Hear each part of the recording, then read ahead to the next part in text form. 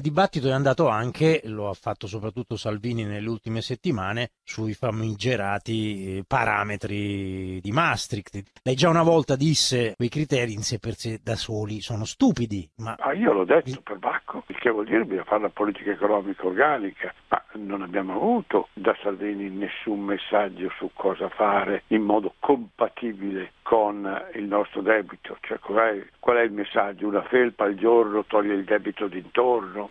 Il problema è di dare concretezza alla politica e poi ammettere gli errori. Io credo benissimo che eh, la politica economica europea abbia visto nella leadership germanica una politica sbagliata. Ci sono stati tanti errori, ma attenzione, una cosa è correggere gli errori e una cosa è tagliarsi le radici del futuro. Che destino ha l'Italia? Saremo sempre più isolati? Domanda, del tutto isolato, litiga con tutti. Eh, la politica è gioco di squadra. Eh. In politica il problema certo. primo è farsi gli amici e gli alleati e poi dopo chiedere qualcosa. Eh, noi ci stiamo isolando. Tra l'altro è un fatto nuovo. Eh. Ma neanche ai tempi di Berlusconi, che lei visse da Presidente della Commissione europea, Neanche allora c'era questo livello di, di no, lì inconsistenza. Eh. singole nei confronti di Berlusconi, ma poi Berlusconi furbescamente si inserì nel Partito Popolare, cominciò a tagliare alcune sue asperità, a giocare di sponda e tutto sommato, non come ai nostri tempi,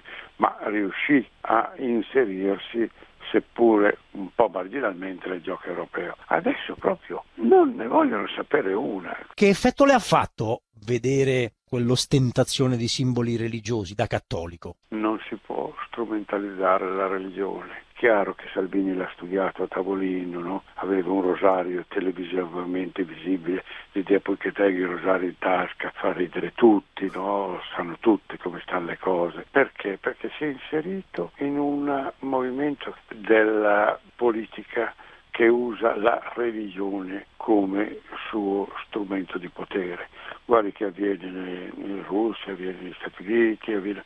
è una tendenza generale nuova da studiare con molta attenzione e con molta preoccupazione. Ma può avere un impatto sul voto cattolico quell'ostentazione? Un impatto negativo secondo me. Eh, Zingaretti sta dicendo qualcosa dal suo punto di vista? Eh, Zingaretti ha riaccorpato il partito che era indispensabile, no? poi dopo le elezioni se avrà come io penso un risultato positivo potrà produrre il ridovamento. Mm aveva una campagna elettorale in cui eh, il problema era la colla, non era la benzina.